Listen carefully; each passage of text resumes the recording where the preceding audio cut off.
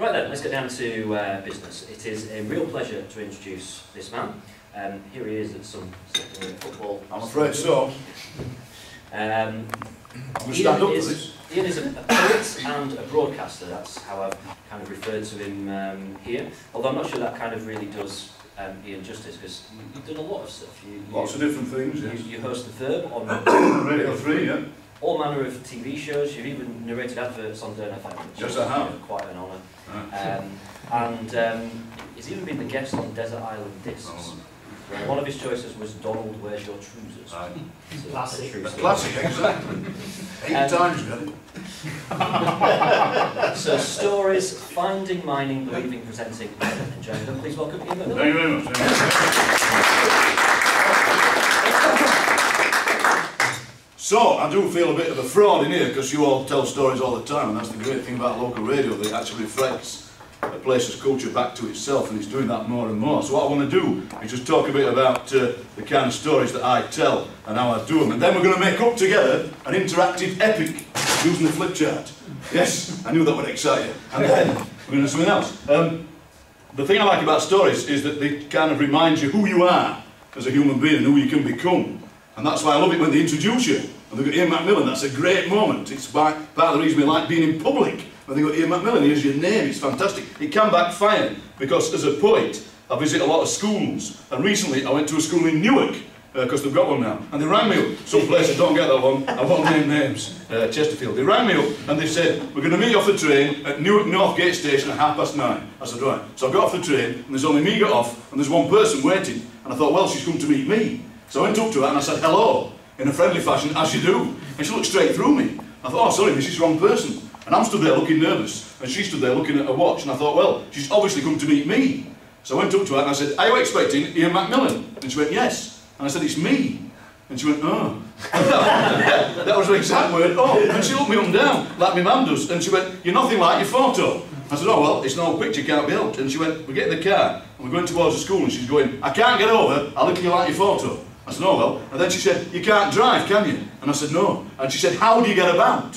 I said, buses and trains. She said, yes, but surely you must have to fly quite a lot. I said, well, not from Newark to Barnsley, no. She didn't laugh, which is a bad sign. As we approached the school, I wish I was making this up. As we approached the school, she went, look, I'm introducing you to the kids. Let's just get this straight before you start. How many novels have you written? And I said, none. And she said, that explains it. And we get to school, there's a big photograph of somebody else. And it says, welcome, Ian Macmillan. She went, that's not you. I said, no. She said, that explains it. She kept saying, that explains it. It turns out there's another Ian Macmillan, who's an American novelist, and she thought I was him. And she got this book out of him, and she went, you didn't write this? I said, no. She said, that explains it. Because on the back, it says, Ian Macmillan teaches at the University of Hawaii. Mm-hmm. And she said, well, come work out, and you taught in Hawaii and lived in Barnsley. And I said. It's at least three buses you have to change at Park Gate. And she said, the trouble is, all the kids have read your book, and they've got some questions to ask. I said, it's all right, I'll answer them. It was the best half hour of my life. They're saying things like, how long does it take to write a book? I'm saying 20 minutes. And they're saying, what are they about? I'm saying cheese, if you look hard enough. And that's an example of a bad start. And another thing that happened to me quite recently, about the story of, you know, not knowing who you are.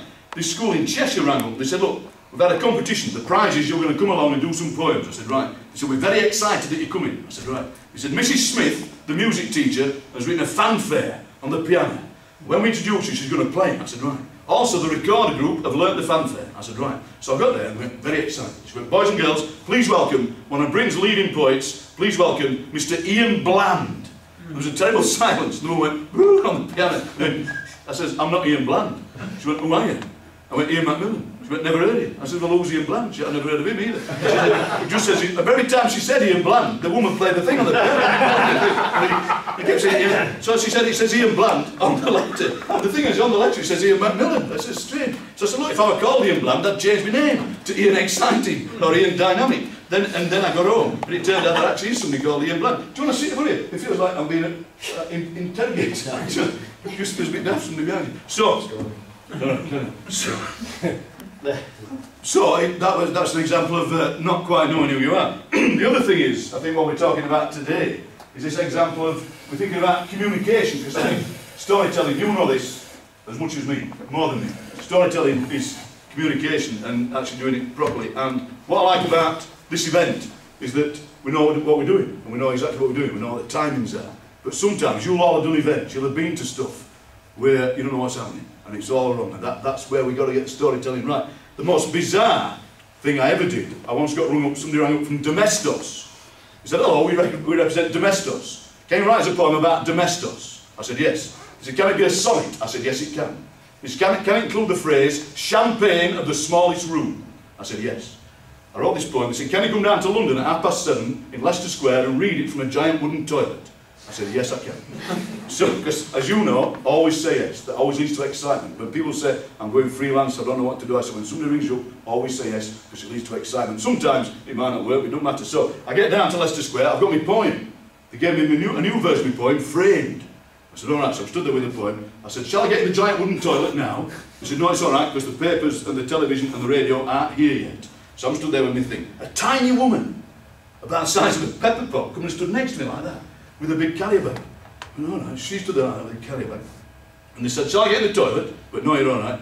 And then we were knowing that you'll have these, when you've worked with PR firms, it's been a PR disaster, where the ones they said are coming aren't coming. So the PR firm stood there, they go, uh, Channel 4 aren't coming. BBC Two aren't coming. Two counties radio can't make it. Nobody's coming. Eventually it dawned on them and on me that nobody was coming. It was a PR disaster. Then some blokes got out of the van, dismantled the toilet, took it away. I stood there with my poem under my arm. The little woman from, turned out was one of the CEOs of Domestos. She says, she says, I said, I'm sorry about that. She went, it's not your fault. Then she went, anyway, I write poems. I said, oh, good. And her carry bag were full of poems. So me and her had to sit there in this Costa coffee all morning reading poems. That was a terrible moment. But anyway, that was a moment of non-communication. So, let me show you some examples of publicity I've had that haven't been as good as today, where we know what we're doing. I did a performance at Melton Mowbray Library, so I do all the hotspots. It was part of the Melton Mowbray Comedy Festival. That was a long weekend, and this was their entire publicity. Funny poet here. I got there, I said, is that it? He said, no, there's one on the back door as well. I said, oh, and three people turned up. And one of them said, oh, we thought it might be you. I said, yes, that's the power of advertising. In fact, my smallest audience ever was minus two. That sounds it's two. If you go up the M1 to Toddington Services, at the back of there, there's the village of Toddington. There's a pub there called the Sow and Pigs, where the Toddington Poetry Society meet. And I was their guest point. And I got there, and there were two people in the audience, and they were the organisers. And they said, what happens is, we read our poems first, then you do yours. I said, right. But they read theirs and went on. They said, we'd like to stay. St and so I thought, show a few of these. This is, uh, this is from Lincoln, Lincoln Central Library. Old-fashioned desk at the front of this really weird notice. You think, well, just handwritten notice just says, we do not supply washing up liquid. Well, what kind of library is that? Two Catherine Cooks, there's a bottle of squeezy, please. And I said to the woman, can I have that notice? She said, I'll have to make another one. I said, that's all right, in your own time. I've always lived in a place called Darfield, not far from Barnsley. If you go from Darfield towards Huddersfield, you pass the wonderfully named village of Skelmanthorpe, known locally as Shat, because there used to be stone shatterers. There's actually a taxi firm in Skelmanthorpe called Shat Taxis, which sounds like some terrible disease. When last time I was there, I was in a chip shop, there's a girl behind the counter with a tattoo that said Rosie from Shat, and uh, she's coming later on, and this is their code of conduct. Skelmanthorpe Youth Centre, it's fantastic. Code of conduct, no bullying, no smoking, no alcohol, no drugs, no fighting, no antisocial behaviour, no stealing, no swearing, respect everybody, speak to staff members if you've got any worries, your youth club tidy, pay your subs, respect the building, football on the football court only, have fun. it's in a different colour, it's green, have fun. Fantastic. People say, what's this got to do with storytelling? Well, it has, because I think I'm, I'm, kind of addicted to these things as you are, just these little tiny things that can make a tale, that can make a story. I found this in a school in Wakefield. It's unfathomable. Just said, do not trip over the feet. Don't tell you which feet, don't trip over. Just do not trip over the feet. Don't trip over. I found this in a church in Norfolk. What I like about this is it's very prescriptive. It just says, please place nothing on this piano. Not, do not place anything on this piano, but go and get some nothing and put it on the piano. Good job it with Norfolk, some say, but not me. I, some of them are very strange. I found this one. You know, sometimes somebody's lost a dog or a cat and they put a notice on a tree or a lamppost. I was down in Devon, the, not far from Okehampton, a village called Beaworthy, near a village called Sheepwash. And this amazing notice that's kind of unfathomable and sort of beautiful. And just says, where can we go to watch people play badminton and eat our sandwiches? yes, where can we go? I like the way it's got badminton in a big thing like that. And I've pinched it so nobody will ever know. Where can we go? I don't know. You tell me. I've got millions of these. I found that in school. What kind of advice is that to give kids? I do talk fast. Uh, I told my wife I was only going to the shop. She So you wonder where I am. These are my favourite. I think laughing is great. Laughing makes you feel better. I like laughing. Laughing is good. Um, in the millennium, there was a big fund when the lottery first started. They were giving out a lot of money to village halls to do them up. And I do a lot of gigs in village halls. Call them gigs to keep me spiritual. Do, do a lot of gigs in village halls. And I was up at a place called Ireby, uh, near Bassenthwaite, Lake District. And they've got a brand new village hall. And they said, can you use our new dressing rooms? I said, yes, I can. They said, we're very proud of them. I said, yes, I'll use them. This fantastic notice. Two notices in the dressing room. This one that says, please do not close the curtains. that's strange. That's strange because it's a dressing room. And this one that says, please switch the stairs lights off. If you can read this, you've not switched them off. so, so, so I said, what's the point of that one? They said, don't shut the curtains. So if you don't shut the curtains, you can't see that one. I said, oh, this is strange. I found this one in uh, Perranporth, Perranporth Village Hall down in Cornwall. There's often this, you'll know when you go to village halls, there's always an end of session checklist for the person who's booked the village hall. This fantastic one. End of session checklist. Two, check heaters and cookers are turned off. Three, check electric appliances are turned off. There's no number one. There's no, I said to a woman, there's no number one. She went, I've been coming here since 1987, never noticed that. Come and stick with boys. So, I'll show you one or two more of these. These used to get us in a, in a jolly mood, because I always think uh, with this kind of thing, jolliness is a thing. My thing is, I'm always about joy and glee and delight and happiness. And the other three dwarfs. That is that kind of thing. Sometimes they're kind of sad, these notices. I found this in a school. This cupboard contains nothing valuable, only music.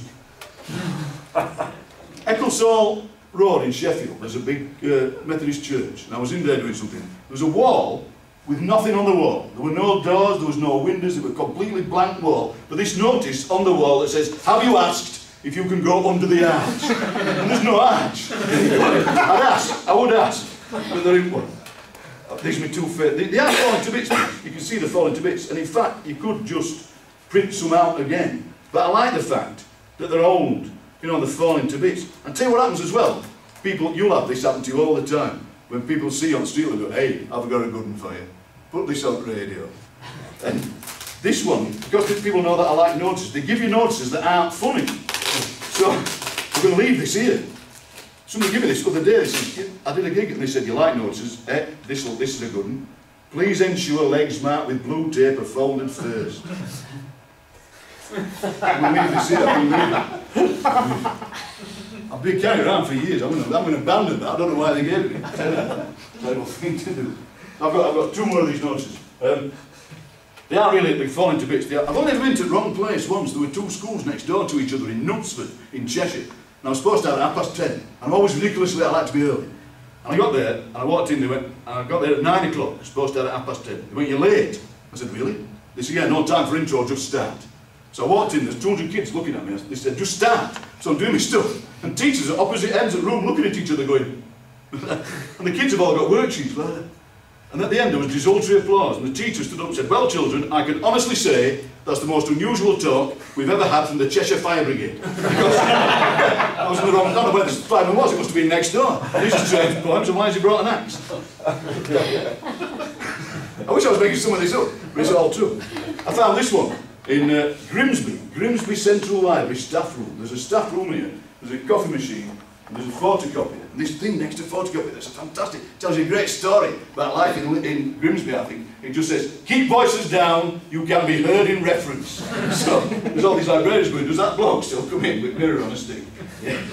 There used to be a bloke at Barnsley Library around with mirror on a stick. It's true. This is my favourite, my very favourite. Doncaster Central Library staff toilets. And it makes you wonder what they eat. It just says, phew!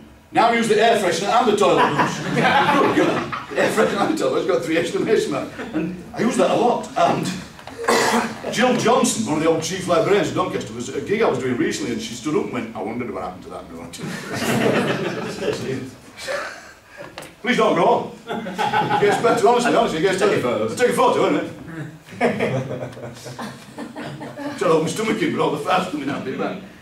So, I've, I've always done this. I've never, I've never had another job. All I've ever done is stand up in public and tell stories. My wife, I've been married nearly 40 years now, she says she couldn't do this job for a gold pig, which is a fantastic Barnsley phrase. He says, surely, it depends on the size of the pig. She says, no, I couldn't do your job for a million quid. Come in.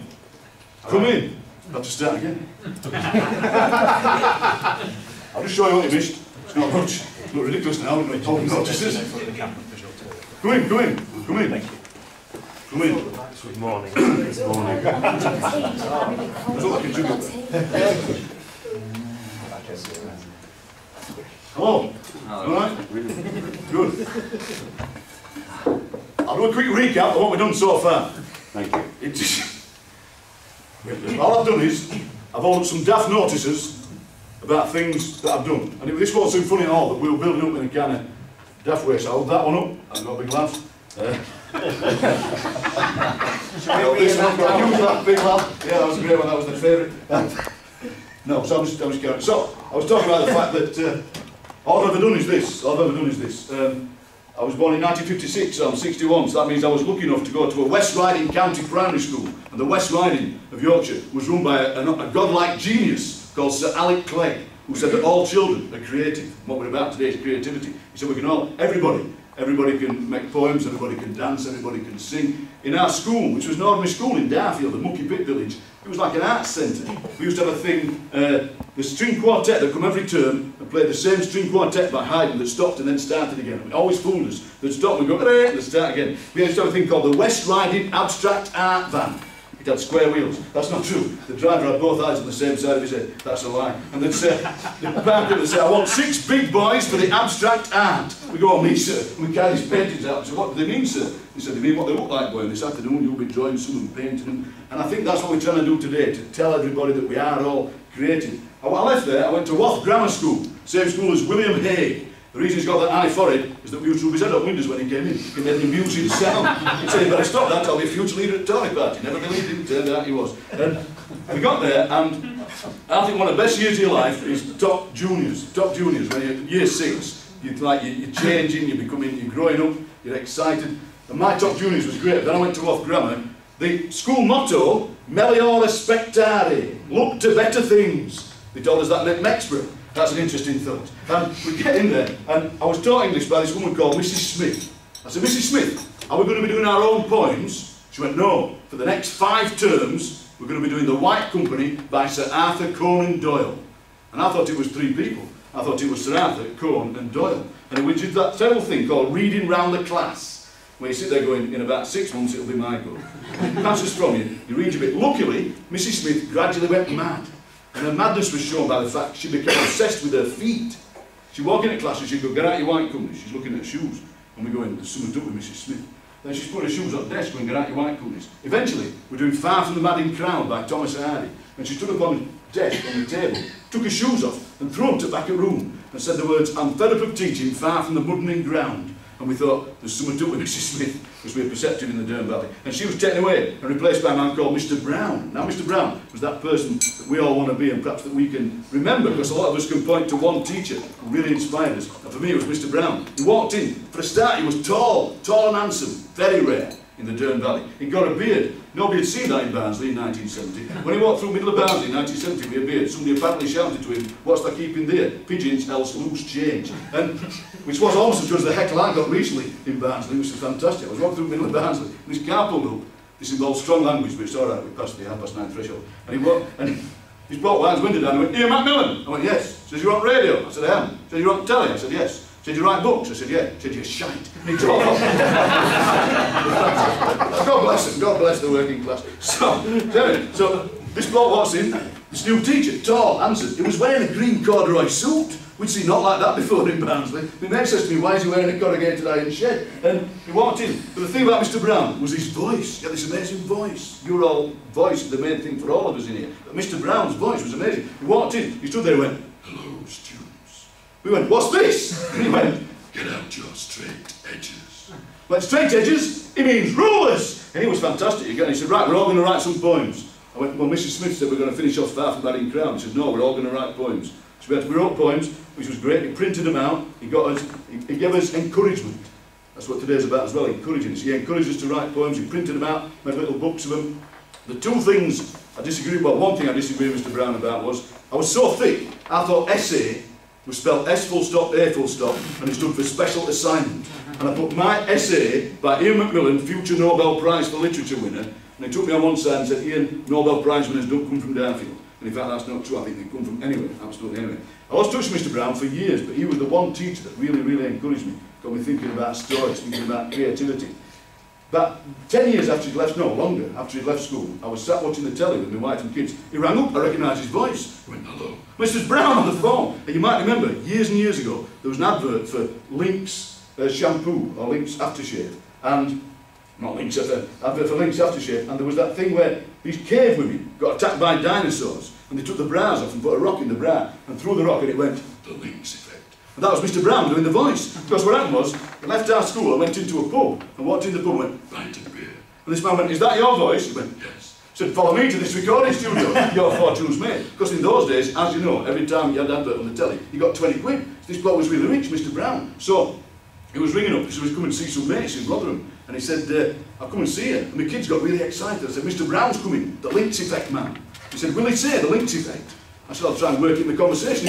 so I met him at the door, he drove in a big car, because he was rich, because every time it's on the telly, he gets 20 quid. He got out, no green corduroy suit anymore, looking really healthy, healthy and wealthy. And he walked in and said, look, Mr. Brown, could you say the Lynx effect for the kids? He went, all right. So he come in, the kids had stood there like in a row, and he went, the Lynx effect. And kids clapped, which I thought was nice. And then he gave an invoice for 20 quid, which I thought, that's not true, I made that up, that was a gag. But he's still on, if you watch uh, Sky Sports, and he goes, Sky Sports, that's Mr. Brown. And if you watch, he does a lot for Channel 4, with Channel 4. It's interesting, as you know, you know voiceovers better than me. What I find interesting about doing voiceovers is that very specific language that the producer often uses. I did one for uh, Persil Blue Gel.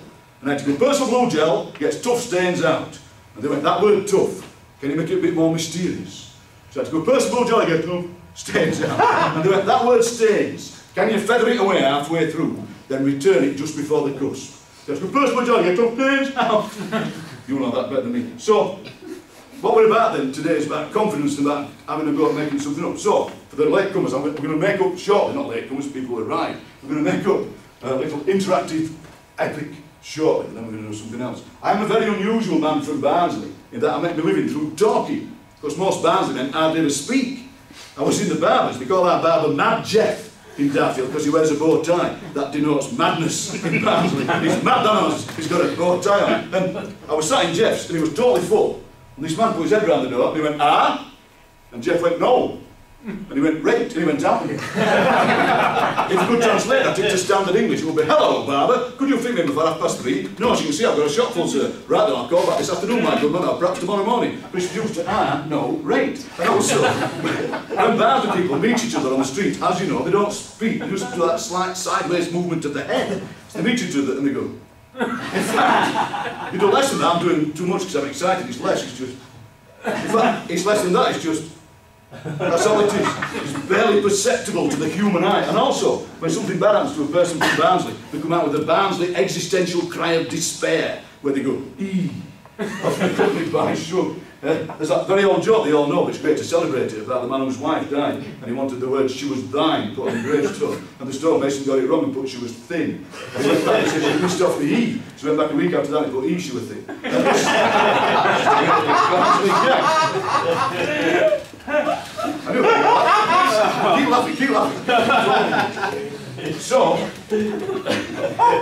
what I also like, what, what I also like about, about local radio is the fact that it does speak in our language, it speaks in our local languages. And you'll know that, you know, how different the language is from Sheffield to Rotherham to Doncaster to Barnsley, all, all around this region, always different. It's what they call an isogloss in linguistic terms. Uh, so, if you I live in Barnsley, so I talk like this. If you go 15 miles down the road to Sheffield, they speak completely differently. We call them D-dars, as you know, because go, Naddy, Naddy, what Naddy in here? You want that? Put a hard dick in the speech. Naddy, Uncle Jack. He would have did that, and he did that wide A. Because Sheffield is the wide A. No, Naddy, Naddy. Are they going to park your car in car park? Uncle Jack. Jack was in the Western Desert in the Second World War, and he was sat there on a sand dune, and the American General Mark Clark drove past. And Uncle Jack went, Naddy, are that your Mark Clark? He went, I am that soldier. He says, well, fighting's over there. Because my Uncle Jack also told this fantastic Sheffield joke that only works in Sheffield. But he went, if Dad gives me four coins, I give you four towns. He goes, right, give him four coins, puts one on top of the other, and he goes doubling.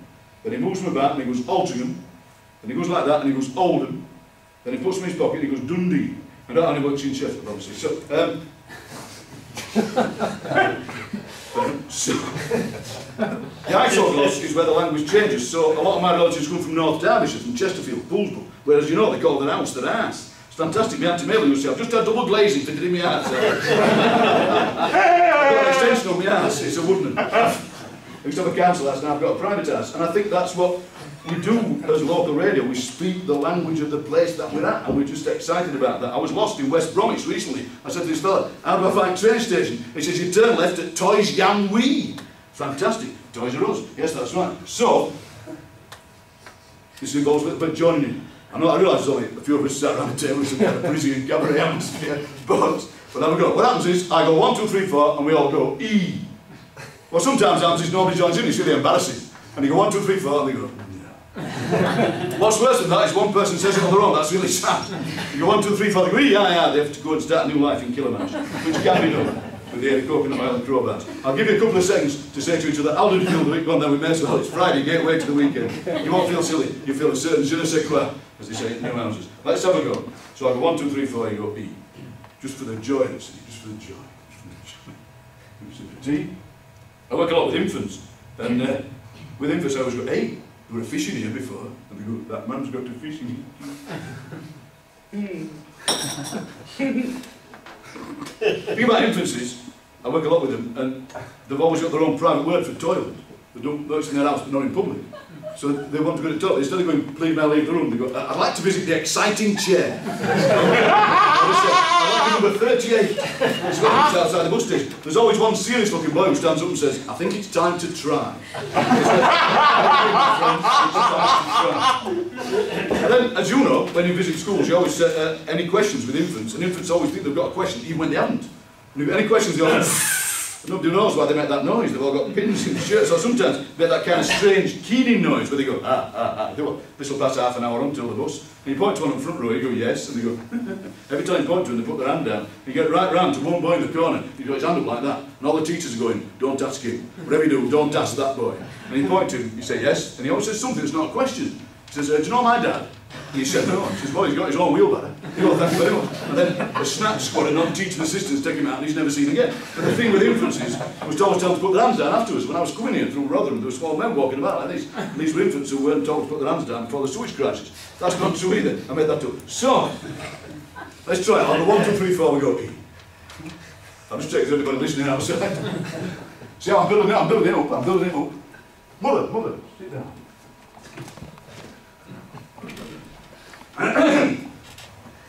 One, two, three, four. E. Very good. That was good. There was a nanosecond of hesitation. it's Friday, let's have a go. And also, this room, it's acoustically, it's really interesting. It's a very interesting room. So, um, I'm on the radio a lot. Uh, I, do, I do this show on Radio 3, I do a lot on Radio 4. Uh, when I first started, my mother used to insist that my dad listened in a separate room on a different radio because she thought he put the ratings up. That's sadly true. She, she, thought, she, she thought the BBC was like a big bank of red lights. One more from McMillan. That was in a wheelchair. She used to push him into the room. Get in there, Harry, empty. And take like five radios with it. But, when I first started, I was, at, I was at Radio Sheffield, did a show on Radio Sheffield, and that was all about, like you've saying yes to things. So what happened was, uh, this fantastic radio producer called Dave Sheasby, who's dead now, who once arrived a year early for a gig, which is an amazing thing. I like to be early, but it was a year early. They booked him at Huddersfield Authors Circle in 2006 and he turned up in 2005. And he walked in, they're all sat there, they went, you're early. And he went, don't you start till half past? I said, no, you're a year early. He went, I'm not. And he got his lecture out and he went, I am, I'm a year early. He said, can I do me talk while I'm here? They said, no, this year's speaker's here, you'll have to come back next year. And the great thing was he forgot to go back. so was sat there going, we're here, he. But anyway, so I was, uh, Dave Sheasby interviewed me on Radio Sheffield and I made him laugh. He says, can you make me laugh every week? I said, yes, not knowing if I could. So I did this thing in the little letter from Barnes, they call it, on Radio Sheffield. Because in those days, in the afternoons on Radio Sheffield, there was a lot of kind of produced speech. So I did that, and then he said, can, can you do it live? And as you know, the first time you speak live on the radio is the most frightening thing in the world, because you think, I'm going to sound such a fool, I'm going to sound an idiot. Your voice, you can't, you can't go, you can't speak, you drown, you think you sound talking like that. But then, once you've done it, as you know, it becomes easier, it becomes easier. Then this fella said, uh, I'm going to I'm going to Radio 4, says Dave Sheasby. Have you got any ideas? I said, yeah, I've got loads of ideas. I had no ideas, but I thought, eventually thought of some ideas. And as you know, it comes from that, from saying yes, from thinking of where these stories can come from. But Radio Sheffield, when I used to be up uh, on Broom Grove Road, up that, uh, on Broom Hill, I mean, they had the world's oldest coffee machine. Now you know, when you worked in local radio a long time, you've been to lots of places, sometimes you find the old coffee machines. When coffee machines were first invented, you didn't get a paper cup. You put your money in, you had to put your own cup under first. The paper cup's a later development. And in very small letters at Radio Sheffield it says, put cup under first. And I always forgot. And I put my money in, instead of getting a cup of coffee, I got coffee, which is slightly different. And this hot coffee hits you on the hand. And if from anyone else in the world, you go, oh dear me, hot coffee on the hand. And because you're from Barnsley, you go, ee, more bad news. So, when we've gone E, we have to go drinks machines, drinks machines. I've never been keen on drinks machines. Let's try that. you won't feel that. Also, years ago I used to work in a tennis ball factory in Barnsley with a man called Alan who made his own false teeth out of wood. He said, if it's all right for George Washington, it's all right for me. What he actually said was, it's not right, you because they didn't fit that well. And also, in that fantastic thing where he goes, if it's all right for George Washington. It's like I think uh, I think for being told off by a superior that comedy wisdom yes is a great thing, it's all adopted. I'm really annoyed with you. you I'm sorry. I apologise profoundly and profusely. demeaning. I like your repertoire of laughing, it's great. That's fantastic. I'm, I'm, where am I next week? Come along. oh, God. You've all done that thing where you just went and this is one other day, no factor, just like a village orgy. The woman on front row didn't laugh once, all the way through. Just, I thought, I'm going to make you laugh, I'm going to make you laugh. Didn't make her laugh. And then she shook me hand, she went, I really enjoyed that. We've all had, and I, she said, I never laugh, I never laugh. She said, "That's fair. So, let's try it. I'll go one, two, three, four. We go drinks machines, drinks machines. I've never been keen on drinks machines. Comedy whistling the yes if you wish. It all helps, it all helps enjoy joy and delight in the room. Oh, just warm in rhythm, microwave melodies. Right, let's do One, two, three, four. Drinks machines, drinks machines. I've never been keen on drinks machines. It's like going to asthma clinic. So, good, good. That's right, yes, bash the table in July. It's like some kind of revivalist meeting. It's people laughing, people bashing the table, people wiping the brown. Oh, it's great, this. Never had so much fun for years. It's fantastic. So, we'll put the two together. So on the one, two, three, four, and we go E, drinks machines, drinks machines. I've never been keen on drinks machines. Let's try. You alright? You're alright? You're alright? Yes, that's Are you filming all this? Filming, filming, please. Film. David Lloyd's got no chance. I'll tell you what, to make it more dramatic, to make it more dramatic, I'm going to go out of the room and come in in a dramatic fashion. When I come through the door, I'm going to pretend to bang my head on the door, but only for comedy effect. I'll come in and I'll go, we'll practice the chorus first. The two, the, so I'll go one, two, three, four, and we go E, drinks machines, drinks machines. I've never been keen on drinks machines. Let's try that. One, two, three, four. E, drinks machines, drinks machines. I've never been keen on drinks machines. They must have a wedding reception, didn't they? Sorry, I just found this. What a sad thing. They must have a wedding reception, didn't they? That's so sad. Anyway, so, you do the chorus, I'll do the verse. You do the verse if you want, but you don't know it. Nothing would happen. Know me mouth, no, come out. I'm going to go out the room, I'm going to come in, in a dramatic fashion. A bit like an Alan Ayckbourn play, this room. It's got many doors. I'm going to go out, I'm going to come in. Then we're, going to make up the first of the interactive. Uh, you're doing really well, you're doing really well. Friday morning, you're doing really well. Fantastic. Which is a D. That was the last match uh, David Flitcroft was in charge of. Absolutely fantastic thing. And we got a fantastic photographer at Barnsley called Stretch, who was a really top good photographer. Mm. Uh, right, bit of throat clean, that's a good sign as well, I like to see it so.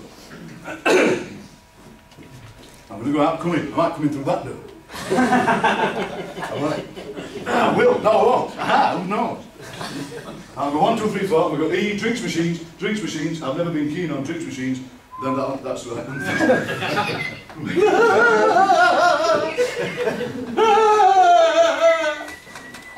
like a strange French film. you might see on, on Channel 4 later. mother, mother, just sit down. My mother's brought a saxophone for a big finish. Sit down. so excited. Right, let's try it let's try it. I'm not going to be hurt when I bang the other door.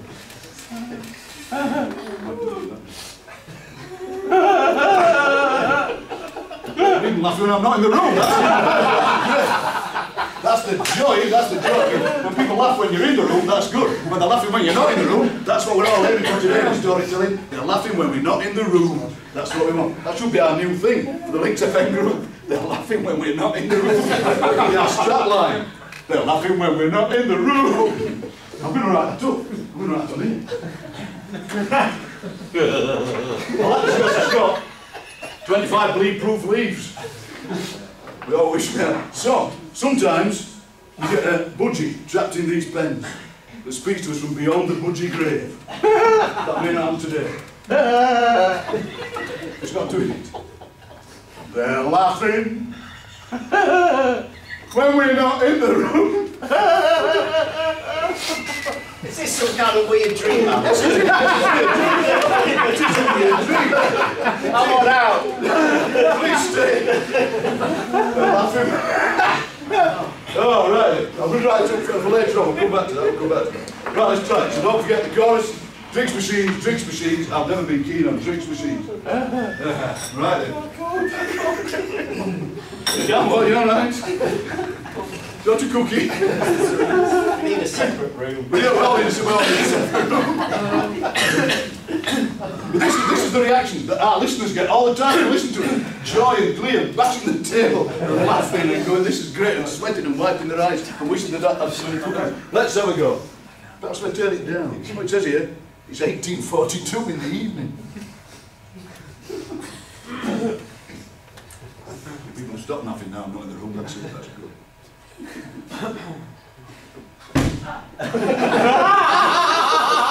Always gets the cheap laughs, so I'll do it again. when I go to schools now, we do that, and they go, can you do that again, will you bang your head I yes, I can. Because it's about joy and glee and delight and daftness for me. It's 1843. mother, mother, mother, stop that.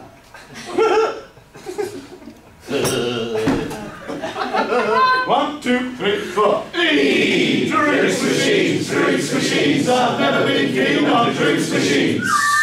Coffee, coffee. Tastes like mud. It was ground this morning, so it should. Insert coins, coins return. Insert coins, coins return. Cup drops down, fingers burn. Why do I never learn? Oh, ah, oh, E. Spilt all my flipping tea. Time for the chorus. E. Drinks machines, drinks machines. I've never been keen on drinks machines. 1p, 2p, 5p, 10, 20p, 50, start again. White, black, extra white. Normal whipped, it tastes like dirt. E. Drinks machines, drinks machines. On drinks machines. You'll get chocolate, you'll get pop. Don't press that button, it won't stop. Dripping, spilling, slopping, slipping, sliding, screaming, diving, swimming in a sea of chocolate soup. In a sea of chocolate soup. Last time for the chorus. E. Drinks machines, drinks machines. I've never been keen on drinks machines.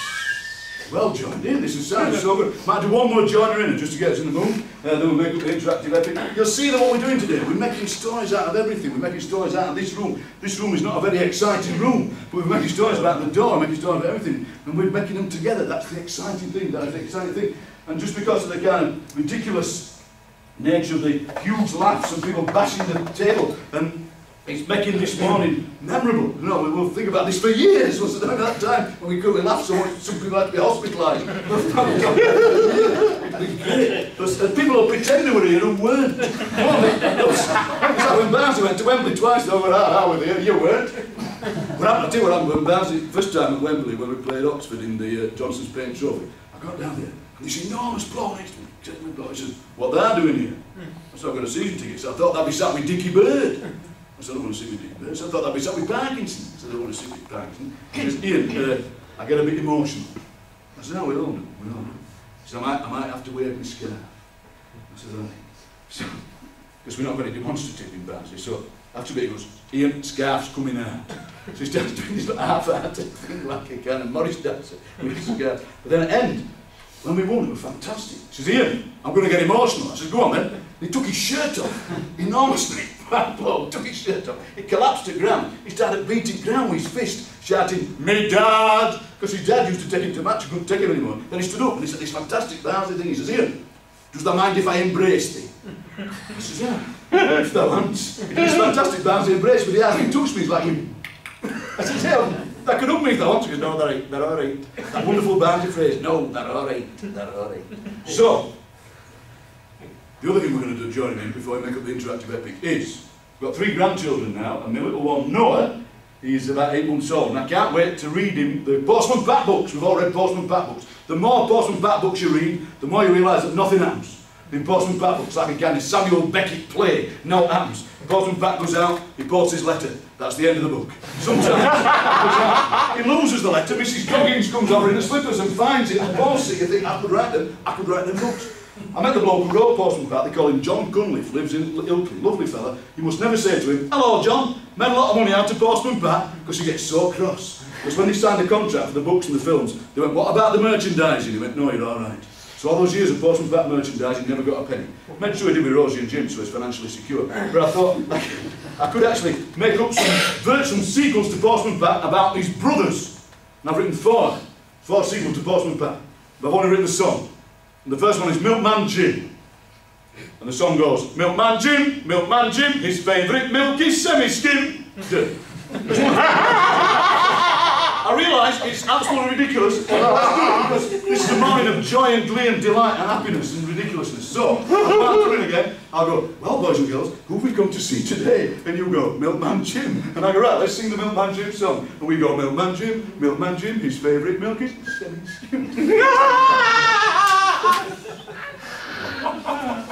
This room's got so many doors and so many plugs, hasn't it? What a place, all these plugs, all these doors. Somebody's had the wedding reception in here. Strange. You know this when you go around any public hall, I've not seen it yet, normally on the ceiling you see a bit of last year's Christmas decoration. normally, it's usually a ceiling, usually ceiling. and what this is about, obviously, it's about making stories about anywhere you go. Whenever I go into schools, you never have anything planned, as you know. You just walk in and It'd be some weird thing, and it uh, just mixed us with that. Anyway, so. More close. so it's Milkman Jim, Milkman Jim, his favourite movie.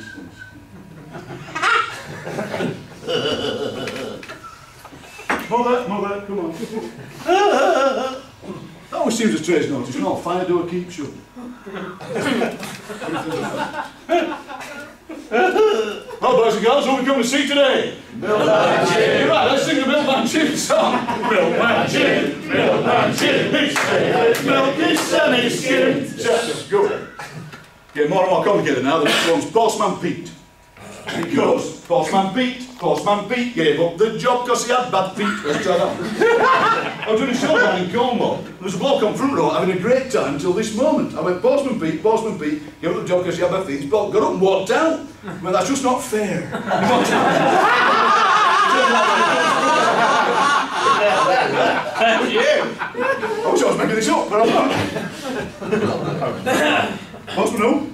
Postman Rob, he's got gout. I'm sorry, Rob. Oh, no. Don't walk out, Rob. Please don't walk out. He can't. I know. I'd love to walk out, but I can't. I might write that on the thing.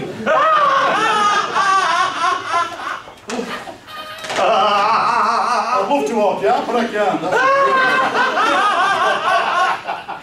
Because I'm, I'm held by compelling broadcasting. That's I'd love to walk out, but I can't. Uh, because that's what we want. Folks would like to walk out of the room, but they can't because they've got to pick kids up from school, but we're telling such a great tale on radio, they can't walk out. That's great. Good, good for me. Right then.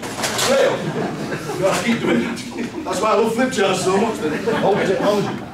I was telling some people earlier on that in my role as Z-list celebrity, I had to open a new old folks home in Goldthorpe. And anyway, he said, uh, we're going to see miserable Frank on front row because he never laughs. If you make miserable Frank laugh, you'll be doing all right. Right. This bloke sat on front row, miserable Frank, and I got the flip chart, and we made a poem about it, and he's laughing. He's having a good time, miserable Frank, right? Then suddenly, flip chart collapsed onto miserable Frank. And he went, I, I should I should hit the way a stick, he said. So he goes, so he goes, Postman Pete, Postman Pete gave up the job because he had bad feet. Let's try that. So I'll go and come in and all do that together. There's only 28 verses to this. Some blokes walking past. Looking in at it. Saying the words, it's just students acting down.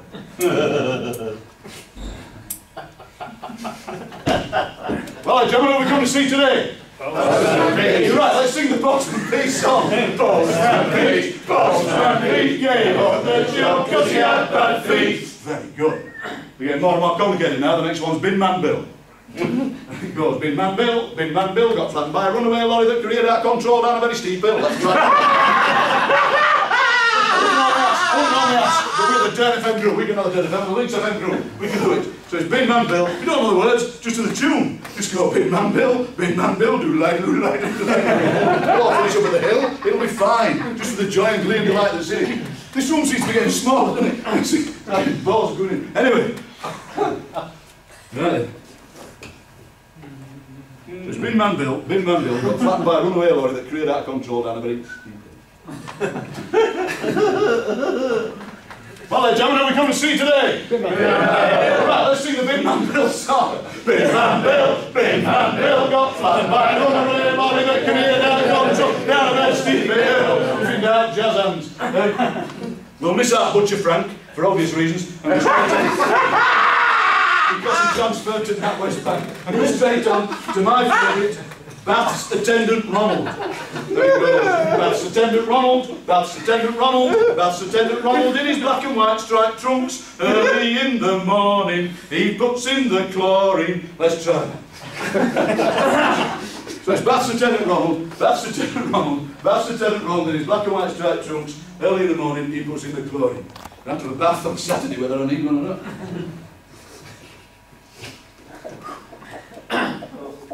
Now we make up the interactive epic. The first of many. Well, then, gentlemen, we come to see today. Ah, I see. We've got this Bath's attendant Ronald. Bath's attendant Ronald. Ah! That oh, was great. That silence. People. Ah! It's Bath's attendant Ronald. And the song goes. Bath's attendant Ronald. Bath's attendant Ronald. Bath's attendant Ronald in his black and white striped trunks. Early in the morning, he puts in the glory. I pity David Boy doesn't film after this. Don't do. He has got a great voice. Oh, dear.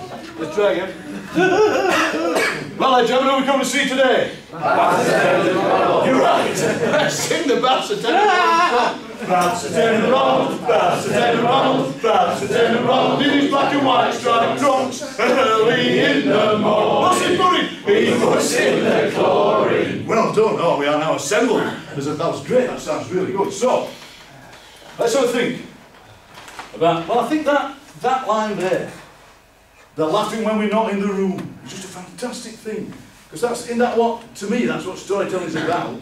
Is that somehow, it's all right when you're in the room and they're laughing, but it's like afterwards. That's what Amazon Walker, did you hear so-and-so on radio? Did you hear what he said? Did you hear that thing he said? Did you hear that thing she said? Did you hear what they said? It's that kind of thing. So somehow, when we've left the room, when they, the listener, have left the room and we've left the studio, they're still thinking about what we said. So, I write that up. They're laughing when we're not in the room. My writing's terrible, ladies and gentlemen, but there you go. The writing in red is done. They're laughing when we're not in the room. Quite a long line, that. They're laughing when we're not in the room. At all the tales we tell. I declare today, 28th of July, apostrophe amnesty day. Put them away. because, in the end, nobody dies. A few spares down here for later on. I love it when folks go, I'm cleverer than that grocer, it's how the way the apostrophe goes into Martin. You think, well, get a life. I know that's not, we're not allowed to do that, of course, but they will die out in about 10 years, they'll come.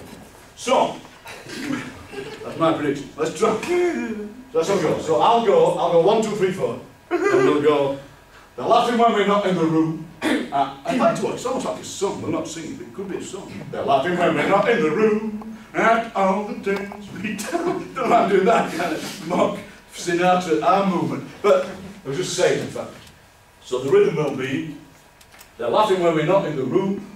And all the tales we tell. Let's try to sing that together. It's got a certain something. Put a backbeat on it. Could be a Christmas hit. Yes, it could.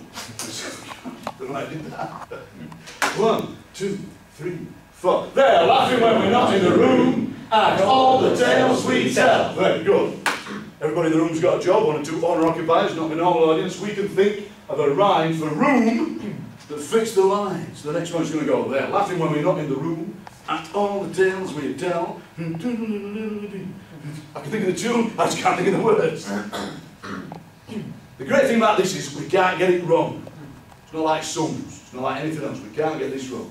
It's about stories, it's about the way we tell it, it's about what, what stories are. So any idea what the next line could be? We are laughing when we're not in the room at all the tales we tell. Some of them might rhyme with room. I found with this that telepathy is no good because I have no receiving equipment. They're Laughing when they're using the broom. That's good. They're laughing when they're using the broom. That's a good. I can see a dance movement for this. When's the contemporary dancer coming? Not yet. They're laughing when they're using the broom. That's a great line. It's got rhythm. It's got rhyme. It's fantastic. It's like the Renaissance in here. Except they're, No, as soon as it storms in here. They're laughing when they're using the broom. That is good. Sounds like a euphemism. You all right? I've been using the broom. Story of my life. Story of my life, yes, using the broom.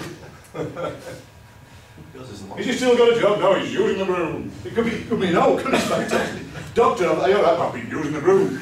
That's the great thing about it. Oh, this language is great. They're laughing when we're not in the room at all the tales we tell. They're laughing when they're using the broom. That's so good. Got to think of a rhyme that rhymes with tell. Swell. Swell is a good word. Swell, smell is a good word. Smell, Smell is smell. a smell. They're laughing when they're using the broom. Be like catchphrase. As if they're under a spell. That's good! Yes! Hey, Where's the prizes? have a bucket tea. Cup of tea. Was it? Was it? The, what? Spell. I've got we said. I don't know what was it. Said Under under the a spell. It's as can put it's as if just for the It's as if, yeah. It's as if they're under a spell, which is that's right. That's what stories do. They put people under a spell. Definitely.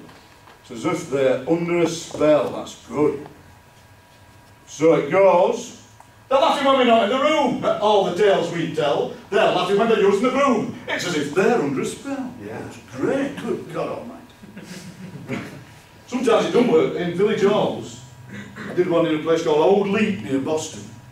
It's, you know it, yes. Laugh of recognition. it's like Britain's, Britain's gout capital.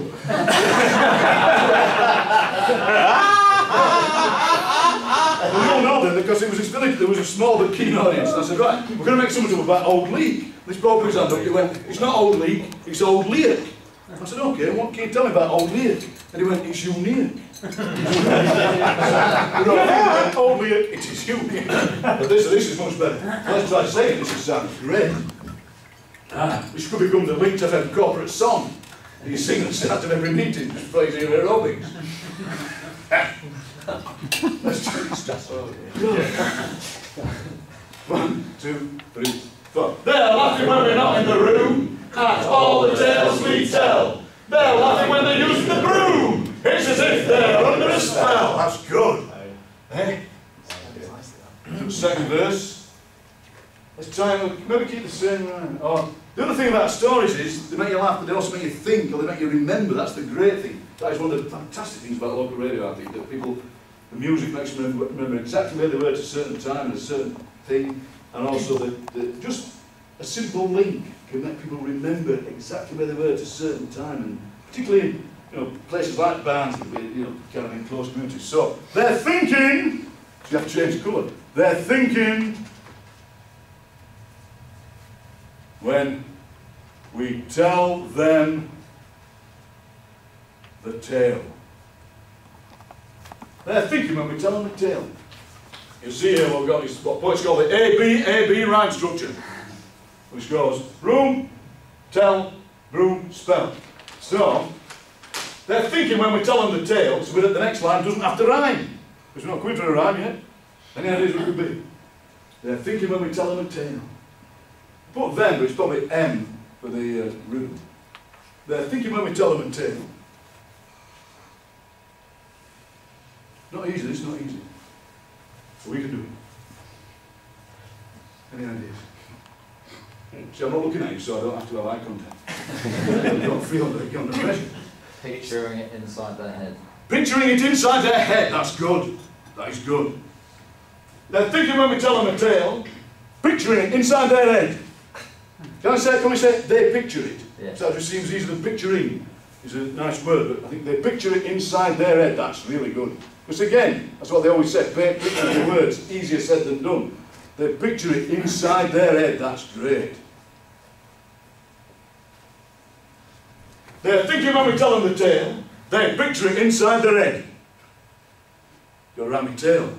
From top of hill to down bottom of vale. From top of hill to bottom of vale. That's great. Jesus, this is good. From top of hill to bottom of vale. I put a few apostrophes in. Top, top of hill to bottom of vale, like Lancashire.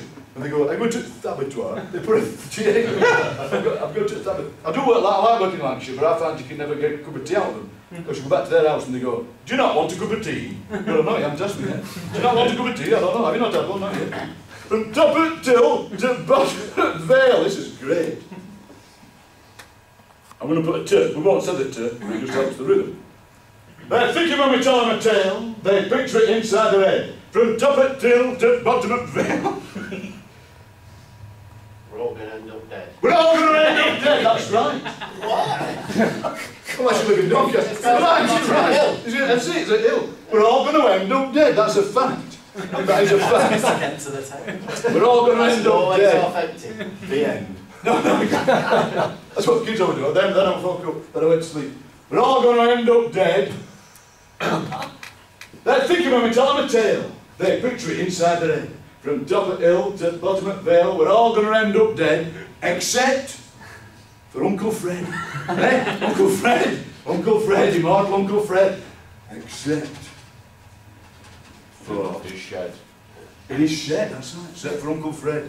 In his, we need a word before, in his something shed. Potting shed. No. Except for Uncle Fred Put him in his potting shed.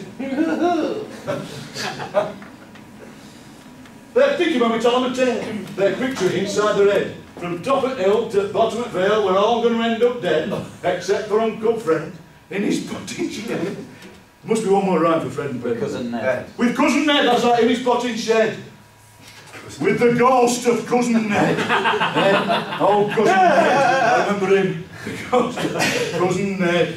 Who's still rotting in his bed? Who's still rotting in his bed, that's right. Oh, this is great. We should- Can we turn this into a musical? Who's still rotting in his bed? Oh, this is great. They're thinking when we tell them a tale, they picture it inside their head. From top of hill to bottom of vale, we're all going to end up dead. Except for Uncle Fred in his potting shed with the ghost of cousin Ned who's still rotting in his bed. While his, while his wife's giving him tea. Ah! That's very good. We'll do is, because we can't say that line aloud, I'll whistle it.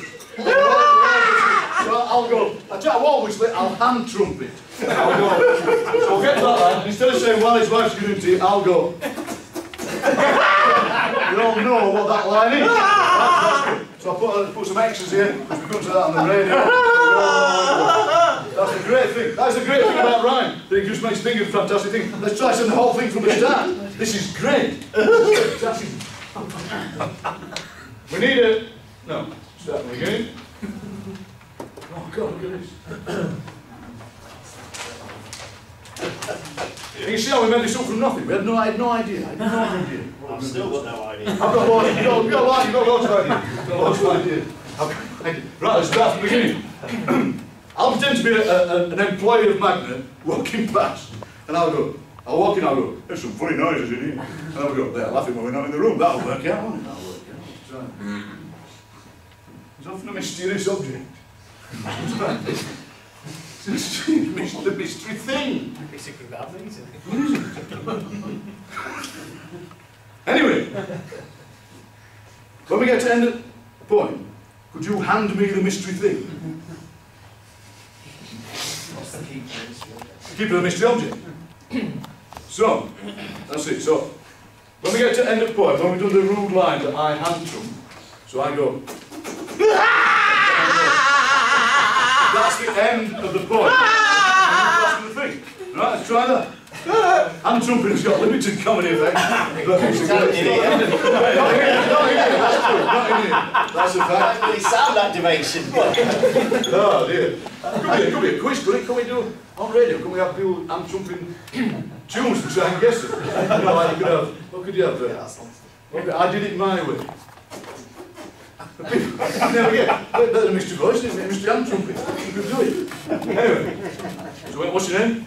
So Ross, what's happening? We're gonna, the end of the poem, I'll go, that's the end of the poem. Then you pass us that and I go, he has the mystery thing. And you, you go, God, this is great. Look at this. What didn't exist before we started. It's unusual to have some shiny paper on the flip chart. Nice. Think it adds to something, something to it. Reflection. Yeah, you're right. I like these moments of calm. It's great. Like when Venice when the stops going up and down for a. Ah, yeah. Right. It's mysterious, oh, there's also. This room appears when you first walk in it to be the blandest room in the world, but it's full of strange mystery things. Like this mystery divider. And this, look. The cheese. Have that and all, Ross? Have that and all? two, two objects, two mystery objects. I thought it might, I didn't sorry for it. Two mystery objects. Fantastic. Don't often get two mystery objects. I was telling somebody earlier on that last night, uh, about half eight, phone rang, and I answered phone, this boy went, who am I talking to? I said, who am I talking to? He says, Dave Thorpe. I said, what, Dave Thorpe that I went to college with? He says, yeah. 40 years ago, Dave Thorpe. I said, no, we met, we met up, didn't we, Dave, about three or four years ago in Doncaster. We had a dinner out. He says, no, we met 11 years ago. Blank time flies by. And I says, how, how you doing, Dave? He says, I'm on my own now. I thought he's left his wife. Both his parents were dead. And he still lived in the same house we were brought up in. That's the strange thing. He lives in his house in Newark. Brought up in his house. Went to college briefly in Stafford, came back, went back to the factory, left, worked in his factory all his life, retired now, mum and dad both dead. I said, what do you do, Dave? He I don't, don't very much. He says, Thursdays I go out for a pint. I said, Blanche, we're going to meet up in Newark. Isn't that interesting? I'm just it's interesting that there is no story today. You know what I mean? I feel sorry for Dave because he entered a big life. We, he had as much fun in his 61 years as we've had it last hour. You know, that's the thing. If only Dave was here now, he'd have a great time. I would bring Dave in. We could have, you could have a big project. Anyway, so next time I see you, I'll tell you what happened, because me and Dave are meeting up in Newark at the end of September. And we'll all meet again, I'll tell you what happened. No, Oh, what come happened. with. Come on, come, shall we go? Let's all go. To the Lincs FM trip. There, Dave. Here's some new friends for you. That'd be great. Ah. Oh, Dave. Dave Thorpe. So, do the whole thing from the start. So I'm going to, oh, mind it back. Sorry. So I'll come in, I pretend to be a Magna employee, do that bit, we get to the end, the mystery object. Right. Doing really well, doing great. Some kind of camera. Being broadcast live on a big screen in the middle of the room. Could be, that'd be great, wouldn't it? That'd be great.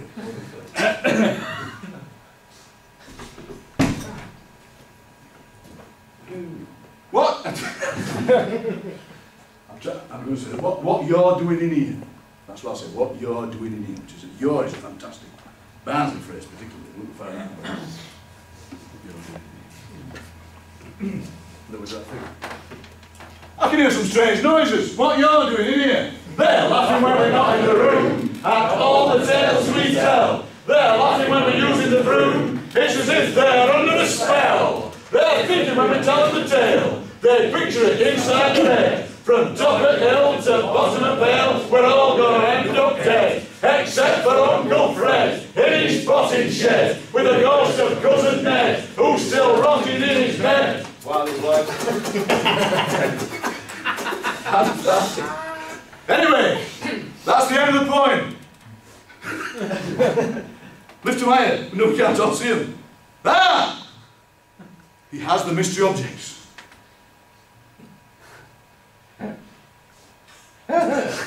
Ah! They do have that effect. the mystery objects. So, as we can see, the mystery objects, all they really are, all they really are, is a bit of wood to keep the door on, and some kind of bit of carpeting, I think, bit of underlay. So, let's pretend though, that when this was a steelworks, these were very important. There were strange, mysterious objects. I'm trying to say in a strange, mysterious voice. There were strange, mysterious objects. Let's pretend that since the steelworks shut, people have been looking for these. So, what I'd like to do is, on the back of your bit of paper, on the back of your, uh, your thing, your agenda is the word I'm looking for, write me down just a couple of lines about what the mysterious objects might be. Don't forget, we can't be, we can't be rude about people in the room or anything. Write me down what the mysterious objects might be. A couple of minutes on that, just the mysterious objects.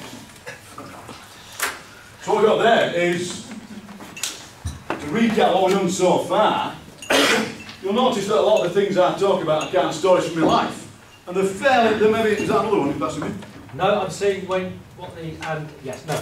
Alright. That's one of Rob's best things. It's one of my shortest. It was good. it seemed to make sense when he said it. But then, so yeah, so as you see, a lot of the tales I tell are just about my life and about what's happened. And things happen to us all the time. That's what we make stories out. of. That's how our lives are. Things happen to us. Often the most mundane things you can make a story out of. And that, all the things I talk about are true. They're a bit they're slightly exaggerated, obviously, but the, everything that happens to me, things happen to me all the time. Um, just we're here, because as you came into Magna, you see that big old uh, bison the silver bison that used to be at Outokumpu Steelworks just next to the thing. And me and my mate, was a photographer, Ian Beesley, once did a thing at Outokumpu, which they shut it, working with all the workers there, and we got them doing this, got them writing poems, got them making stories, got them doing photographs. This fella came up, he says, look, I'd like to do some poetry, but I'm no good at writing poems. I went, all right. He said, I said, what about photographs? He said, no, I can't do that. And I said, he said, but I'd like to do something. So I'm trying to engage him in conversation. I said, well, how did you find out about the project? And he said, uh, the acid bath murderer told me. I says, who's he? He says, he's a mate at Oompa Loompa. I says, well, who's he? He says, well, he works with Gorbachev. And it turns out, and he, he knew the nicknames of everybody in the factory, and there they are. It's fantastic. He says, you go away and write me down nicknames, everybody in the factory. And he knew them all. And so what he did was he wrote them out on some big bits of flip chart paper. And we all, he wrote the, the name down, the nickname, and the real name next to them. They were doing tiny stories. It was fantastic. And we're doing that, we're looking at it, and the, the boss of Outokumpu was a big tall fellow, walked past, and his mate was a little round bloke, and he walked past, and he, we're all laughing. He said, what are you laughing at? He said, look at this, we've got all these nicknames here, and all the real names. He went, Ian, you are naive. I says, what? He says, not everybody in this factory's got a nickname. And he pointed to it, he went, that's disgusting, because it turned out he was the acid bath murderer. and his mate was the Oompa Loompa, and it was that. And so then, then we says, you can't publish these. We says, well, and we had, we had this committee, this publishing committee, and there was a vicar, local vicar on the committee. He says, look, what we can do is, we can print them out without the names on. We said, well, that's not as much fun if you've got the real names. So we'll print them out without the names on. Then if we all put 50 pence in towards church repair fund, we can get to know the real names. So I'm going to read you some of these uh, names out, because the great thing about these names is, they are like little little stories. As soon as you hear the name, you can see what they look like. So, for example, you've got Acid Bath Murderer, you've got uh, Beach Ball Belly, that's a fantastic one. Blackpool Joke Shop Face, that's a great nickname. Captain, Captain Pigwash, that's a good one. There's, um, where's it? Dog on Head. Dog on Head, in Dog on Head. There's that Rotherham phrase, isn't? That looks like a doll's head. That's fantastic old Rotherham phrase, because they're like, like gormons, like a doll's head. Um, Edward Scissor Teeth. There's a great list here.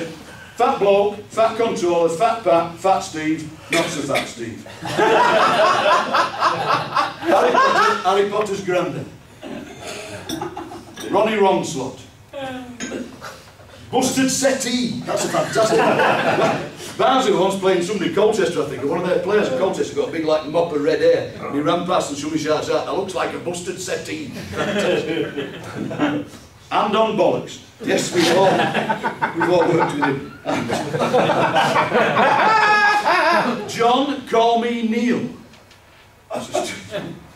Rotherham Bob, Savage Cabbage, Mrs. Doubtfire, Tank Took Ted, Three-Toed Sloth, Wash Pots, Vicar of Dibley, Poorly Chicken, Strange Occurrence, Kid, Lala, Psycho, Poorly Chicken, Pappy Fireman. Never fathomed that one. The great thing about him is, as soon as you see him, you think you can picture these people. That's the great thing. That's a wonderful thing. But I need to start to show you that. So, what we have here is the mysterious objects. I placed them on the, the saucer of mysteriousness. You see, I'm going to then place them on the chair, the chair of storytelling. And so what we're doing is taking these ordinary objects, which is taking these ordinary things, which is what you do as presenters. I mean, all presenters who do daily shows, who can think of things all the time. Not that you have to use a wooden block and some stuff. So, these are all anonymous, so we don't know who's. Except the person who's written them, when I read them out, they go slightly red. or sometimes they affect nonchalance. They go, hey, that's quite good. I want to roll that one. That's really good. So, I'll shuffle. I'll shuffle.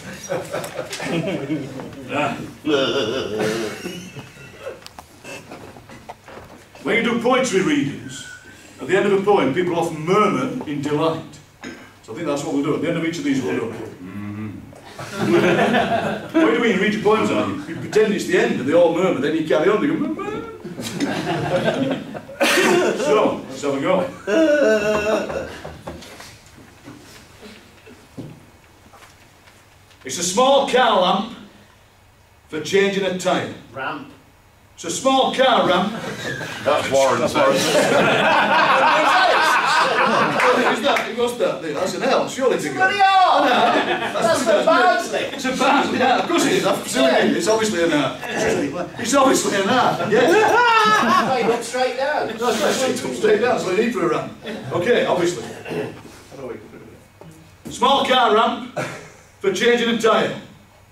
Flat frog. Don't tell them, don't tell them. Oh, sorry. It's supposed to be anonymous. It's not mine. Okay.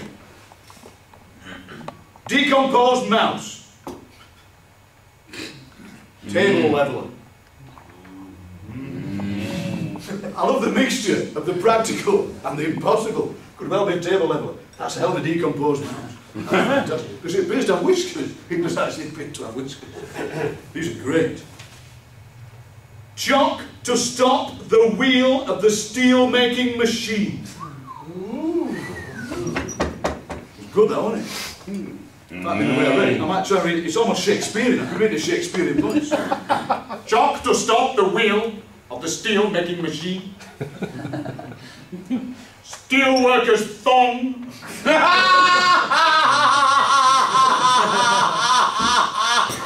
Hence the whiskers. The word thong oh, always gets laughed in whatever context. Ah. You're the only one that remembered to murmur. God, I've not laughed so much for years. This is great. It's like this links up. You laugh all the time. It's fantastic. The BBC, they're all miserable. This is great. I'm laughing all the time. Holy Grail. Holy Grail. Holy Grail. Just the one. Didn't say which one it was. You see, you've got to try and guess. Which one was it? The Holy Grail. I don't know.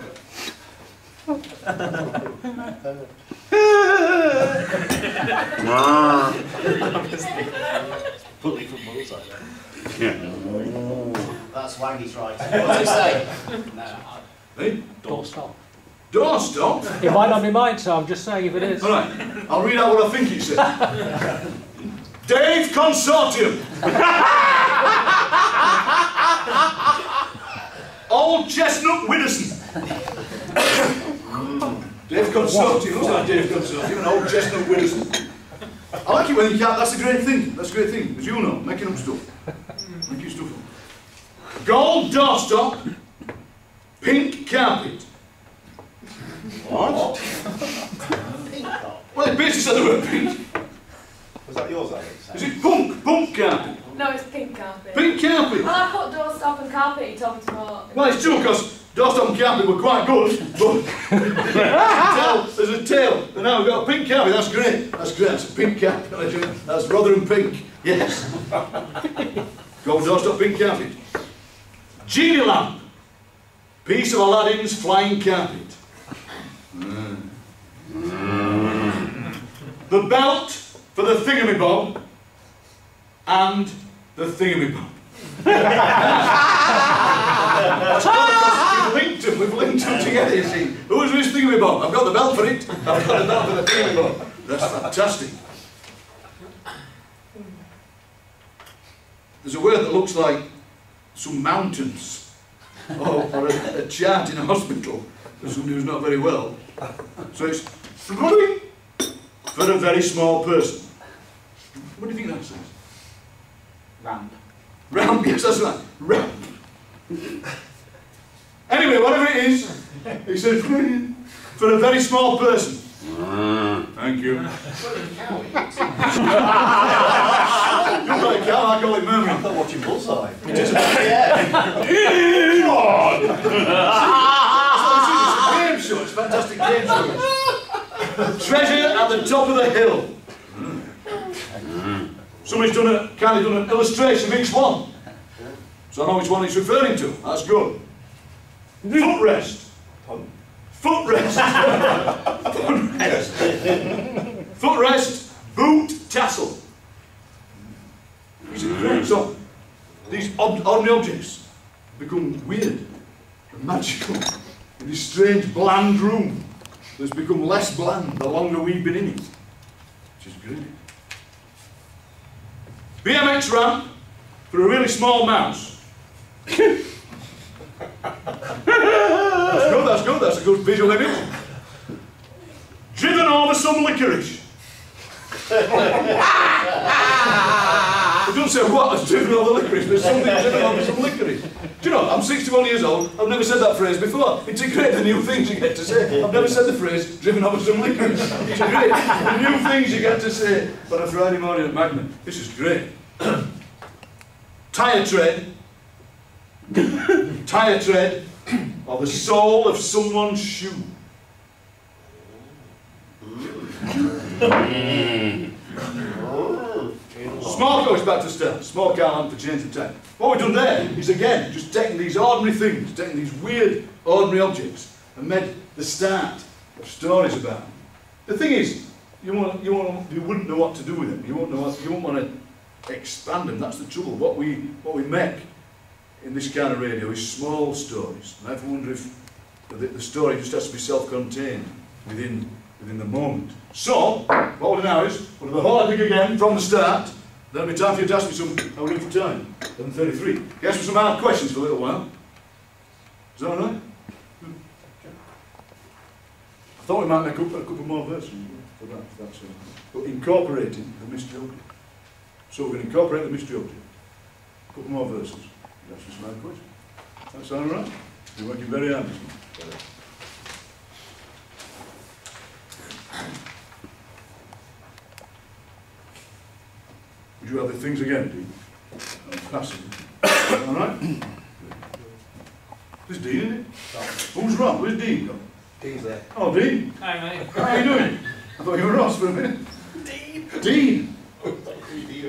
He's not called Dean either. No. What's your name? Hazel. Hazel, that's right, Hazel. Good old Hazel. I'm glad Dean's not here. I'm glad Dean's not come. It's an Asdean. Yay! Come on. That's got to be on here. That's got to be on here. So that's after the thing. I, I'll pretend that I still think you called Dean. Ross and I'll go, Yeah. Dean, pass me the things. Then we go, he's an Asdean. What do you like? the gagging. He's an Asdean. This is great. Normally, you do this kind of thing, you do it with kind of really dull, boring people, but who've got no ideas. You get these got loads of ideas, you'd be amazed the number of people, sometimes you do it, you know, it's, this is great. So let's try it. Just sounds fantastic.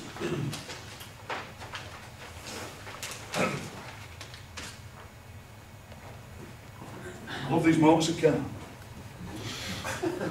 Between, just deal there. Mother, mother, come on. Hello, I was just walking past and I heard some strange noises. One, two, three, four. They're laughing when we're not in the room. I'd love to walk out, that's, that's not the point. That's not the point. The point. See, I'm in the there. I don't like it anymore. I want to to the point.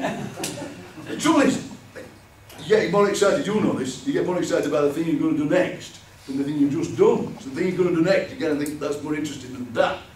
Interesting, interesting. That's the whole thing about storytelling, you get more excited about what's going to happen next. Right then, Ross, I'm going to call Ross. I'm going to pretend you're called Dean. Right?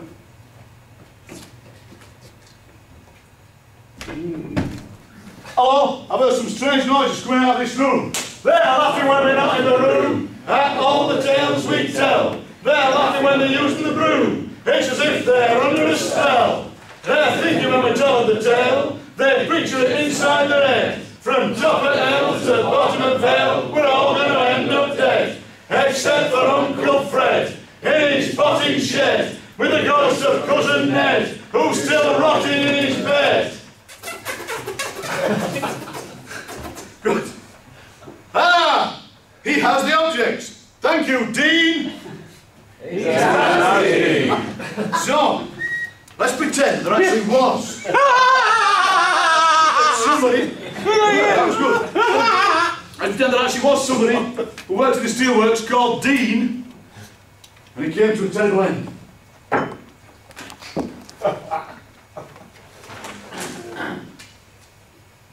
They called him as Dean. It could be like a song, I think this could be like a song. I'll go one, two, three, four, we go. They call him Hasdy. Used to be an Elvis style. He did? Yeah. They call him Hasdy. Hasdy. They call him Hasdy. They call him Hasdy. Perhaps he was one of those Elvis impersonators that you get. Ah. They call him Hasdy. He called himself the king. Oh, this is great. Of swing. They call himself Hasdy. He called himself the king of swing. Let's try doing it in an Elvis voice. One, two, three, four. They call him Hasdy. He called himself the king of swing. Let's pretend. There's something terrible happened to Hasdy in this steelworks. They call him Hasdy. We'll try and get the same rhyme, I think, as we did before. So something to rhyme with D. They call him Hasdy. He called himself the king of swing. You got He slipped. By a bean. He got hit by a bee. That's great. He got hit by a bee. It's from Wakefield. These are chairs. He got hit by a beam. Which made him permanently dream. Well, oh, which That's made him intelligent permanently dream. This is great. Huh? Table with brains over there. Oh. On And Woodbury. beauty. And beauty, yeah. They call him Hasdy. He called himself the king of swing. He got hit by a bee, which made him permanently dream. Let's do it. This is so great. Can we form a community choir? Let's have a go. Uh, one, two, three, four. They call him Hasdy. He called himself the king of swing. He got hit by a bee, which made him permanently dream of fresh green. Fresh cream. Of fresh cream. and donuts. Or so it would seem. Oh, so it would seem. Come on! God, God. Oh, so This is the best. like. He landed on the pink carpet, which then needed a steam clean. That's good as well. He landed on the big dash line. Ah. God, gets murdering. He landed on the pink carpet, which needed a steam clean. This is great. This is the best. Which needed a steam clean. When we get to that line, I think we'll fade it away. We'll go. He landed on the pink carpet, which needed a steam clean. Needed a steam- Then Ross, could you come in through the door and pretend to be the ghost? Of Just, uh, you don't have to do it, just come in. Come in. Is that all right? Yeah. Take the, uh, take the, Make take the steam Miss Jones in clean. you. Yeah. You're now Dean, though, you're not, so if you like to step, just step outside. Is this the moment that you lock the door? Pardon? Is this the moment that you lock the door and then Well, everyone... we might do, I don't know. We might do. Ah, I don't know about that. You So, stand out there and wonder what you've done with your career.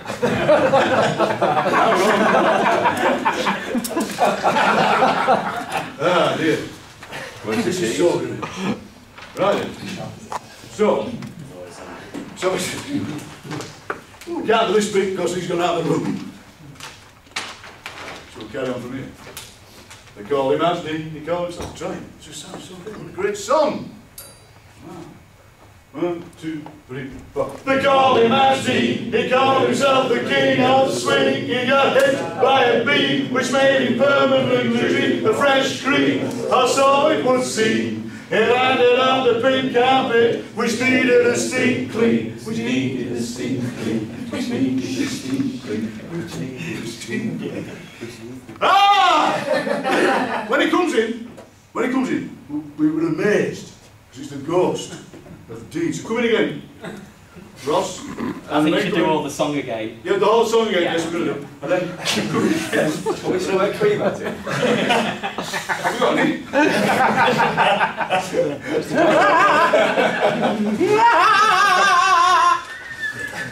I've never lost so much on a Friday morning for a year. okay, let's sing it, then he comes in. Uh, Ross, I'll give you a secret signal. I'll go, come in!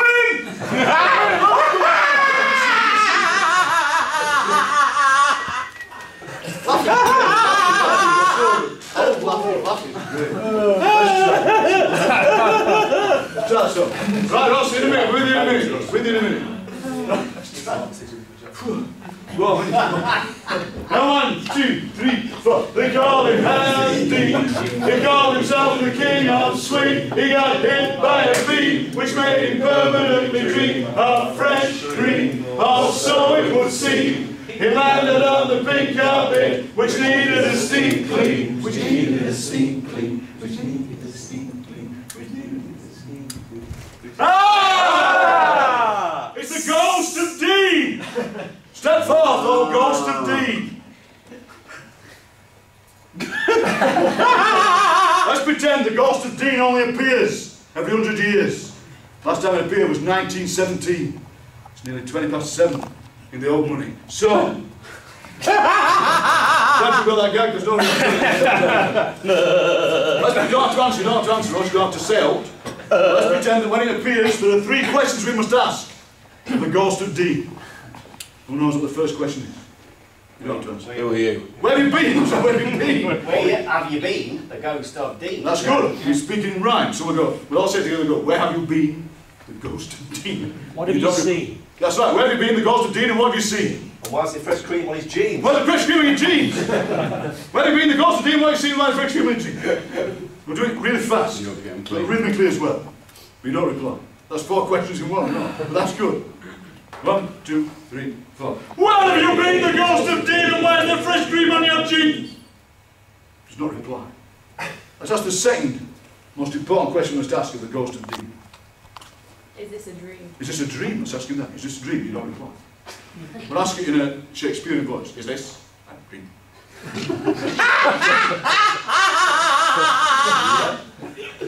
Sounds like chopping wood. it? Sounds like chopping wood. Is this? Let's all do together. I feel tough. Is this a dream? Does not reply. The ghost of Dean. The ghost of Dean! That's right, yes, I know that bit. So, let's ask the third and most important question we must ask if the ghost of Dean has returned to us after 100 years. Why is he walking with a limp? You You can got ask gout. that. So why are you walking it? You don't reply, but you point that the significant mark. So we go, why are you walking below? Point to it. Shakespearean voice. Why are you walking below? Because of that dint. Because of that dint, yes, it's the dint. Love that word, dint. Round of applause for Ross, he was fantastic. So I think I often do that, this, this thing with the questions, and it starts because what we've got here, what we've got here is this amazing narrative, amazing story. I know it's ridiculous, I know it's daft. I know Ryan helped it along, Ryan really did. It helped us to think about it, it helped us to make a tale. When I walked in this room, I was a bit kind of oddly subdued about the fact, the fact that it weren't that exciting this room, but in fact we made something up about it. We made something up about it together, which is fantastic. And to me that's where stories come from, just from ordinary things. Not being worried about where the story might go, accepting everything that everybody says. When I work with people, I've worked in school, I've worked all over the place, and people often go, uh, so and so will not give you any good tales. But they do. And I think it's just an idea of accepting people's stories and accepting that we are all, but you know this better than me, we're all people who make tales of. So, there'll now be a short period where you can ask me some hard questions, which I'll answer in a humorous yet informative fashion. And hopefully, this morning's been what you wanted it to be. Is that all right? Has it been the kind of thing you wanted? I wasn't sure. You see. Getting people thinking. So, do you have some questions? I'll, ask, I'll answer them. Have you finished your tea yet? No, I never get to finish the tea. I always talk so much, get the tea, don't finish the tea. I always get the yes. How did you get into public speaking? It was really just, um, I've always been a show off, so I like showing off. And I think showing off is a great thing. And at school, I was good at writing poems, but I'm a bit shy of actually standing up and reading them. But then I discovered that actually I could just make people laugh by doing daft things, and just, just making them laugh. And getting them on my side by doing that. And then um, I, me and my mate formed a band in Barnsley. Barnsley's first folk rock band, Oscar the Frog. I was the drummer. And we had no, I had no drum set, drums took away. and that just got you into it and just played drums. We got some drums later on. And then the idea of actually the bit in between the songs I like best, where I could stand up and start talking to them. That's the bit I like, just the talking. And it, it just came from there really, from being at school, from being I'm always wanting to do that. So when the band split up, me and my mate used to go around folk clubs because they were the place in those days where you could stand up and perform. It's just been a thing ever since then. I've always been kind of addicted to it, addicted to this thing of standing up. But it does go back to what I talked about at the start, which is the school I went to in Darfield, just encouraged you to stand up and perform. And you know, it, it, it's, it's a thing about confidence, isn't it? And it's part of the thing that we try and get. We are confident people, but a lot of people aren't confident. And I, I just wish more people were. My, my son, uh, when he was at school, went to youth theatre, a lot of youth theatre, standing up in public, you know, and, and not being embarrassed. It's that thing I said at the start. My wife said she couldn't do this job for a gold pin because there's that idea that if you stand up in public, terrible things are going to happen. In fact, they've all happened to me, and they're not as bad as you think. I always think in geological time, if something is terrible, appalling, I always think, well, it's, it's terrible now, but in 100,000 years, who cares? That's the thing. You've got to, you've got to develop a kind of hard outer carapace, you'll know this more than me, because, you know, sometimes it don't go as well as it has this morning, and then you just got to soldier on. So that's how it started, at school. School, I was all, I've always loved this kind of thing. And sometimes it don't go well, sometimes it does go well. Uh, sometimes it goes fantastically well, like it has this morning, because this, this room just appeared to take on a kind of, partly because of all the laughter, took on a kind of strange kind of pressure cooker atmosphere, didn't it? Like we're in some strange kind of other world. I know we are, we're in Rotherham, it's some strange other world, which was fantastic. That's what you try and do in a room like which is what I think radio does, it creates magic. It's an amazing, I know you can't the word magic in here, but it creates magic, a kind of magic, as it were. Let's keep asking, keep asking the questions. Yes, sir. How long have you been tweeting your morning walks? Oh, tweeting. I tweet all the time. Anybody who follows me on Twitter, I'm a mad tweeter. I get up every morning. I always woke up early. What my wife calls pit time. I wake up every morning. I don't want to. I just wake up early, about half past four. I don't want to. My dad was in the Navy for 20 years. And he always used to, he was on the four hour watch. So he always used to get up four hours after he went to bed. So he tried to get to bed late. And I think I'm the same. I just wake up. So for a bath, I I may as well just lay in bed. But then I, I get up. So I get up. And every morning I walk around Darfield. And I do my morning stroll. And I walk around Darfield. And I tweet what I see every morning. It's always the same walk. Unless I have to go out really early. I always do the same walk. Best thing I ever saw was a bloke in a high-vis jacket who walked past a bloke in a camouflage jacket and they cancelled each other out. you do yourself in clips. That's what made me think you could actually just make something out of it. Make something out of what. So then, interestingly, I met up with this composer in Bristol who said, because I've been writing a couple of operas lately, because I like writing stuff for musicians, and he said, look, we could write something together. I said, well, we could. He said, I could, you, I could turn your morning strolls into a piece for baritone and avant-garde guitar. I said, yes, you can. So we performed it last week, or week before, the Harrogate Festival. And that was amazing. Just these ordinary things, me seeing things, has turned into like this, it turned into a So yeah, tw tweeting is great. I love tweeting. Tweeting makes me think and the actual walking around makes me physically exercise, but just see stuff. I see what I, I mean today, what did I see today? Today weren't that great, to be honest, but what did I see? Uh, well.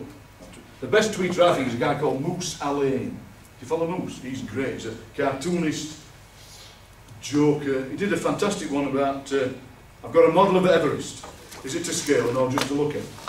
Stuff like that. Interesting.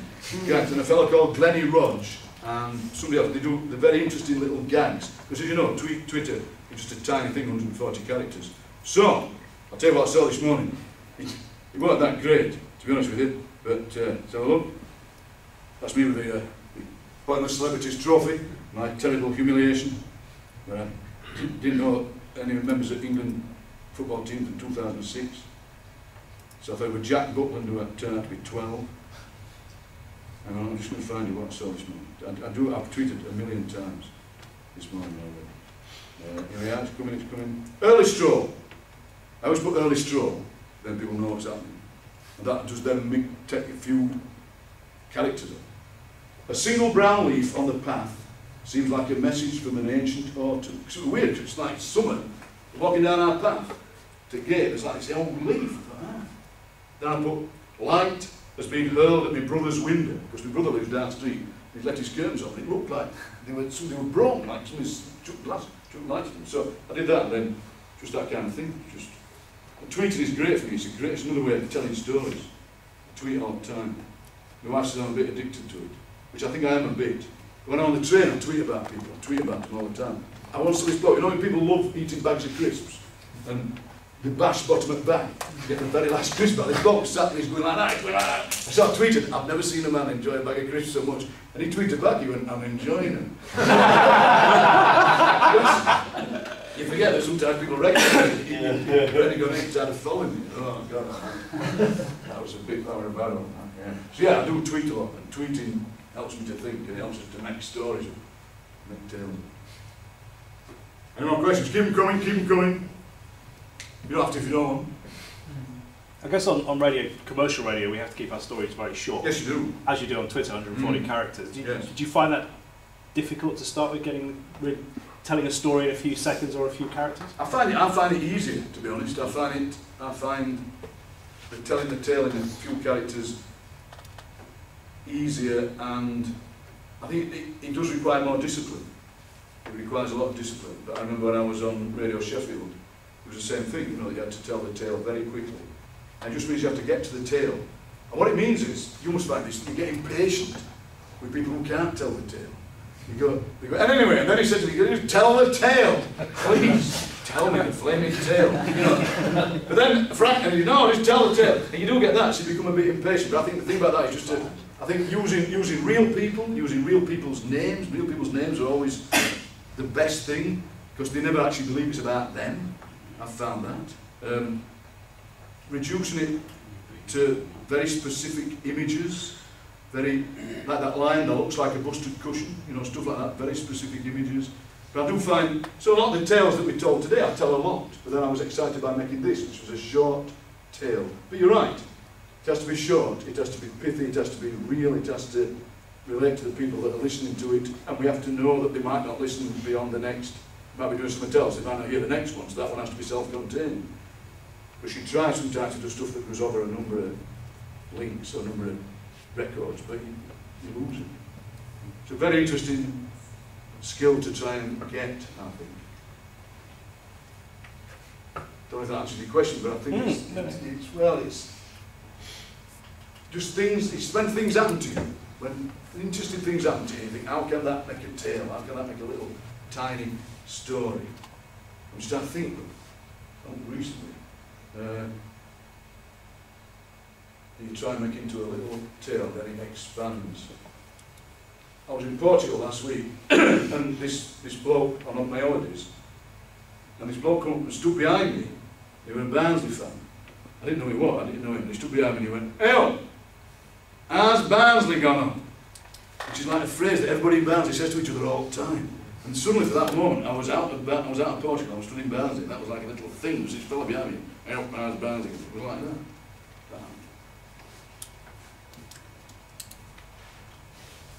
Another question? I keep doing strange movements, don't I? Looking the baby of the question. Uh, who do you like listening to on the radio? Uh, well, I like, in terms of music, I'm a big fan of music that empties the room, to be honest with you. I'm a fan of avant-garde music, or as my wife calls it, haven't practiced. I'm a big fan of uh, the stuff that sounds like, as they call it, a fire in a pet shop. You know. So um, I listen to This is the to be fair, I listened to uh, Late Junction on Radio 3, plays the most astonishing stuff. Really weird, weird. It's on late at night, so I tend to listen to it on catch up because you try to put like half hour ambient tracks on and you've gone. You sleep. If you listen to it during the day on your stroll. Um, I think in terms of broadcasters, I do like the fella who works for Dearne FM, Joe Sentence. I think he's got a great feel for the place, and people people like him. He's, he's on. He's in. You can tell because he's on in taxis. When taxi drivers listen to him, then they know it, and they call him that Jewer, which is like a, a compliment, because they always say, "I'm going to that London," and that. So they got they like him, and he, he seems to he talks directly to people. So I like him a lot. I think Rony Robinson's good on Radio Sheffield, partly because he's been there such a long time. He's interviewed everybody in Sheffield twice. And he's interviewed the dads and the granddads, so he, know, he knows them all. And that's the other thing about local radio, you know, it's about the locality.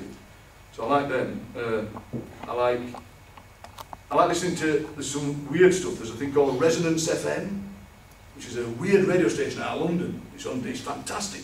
If you like the kind of thing that I like.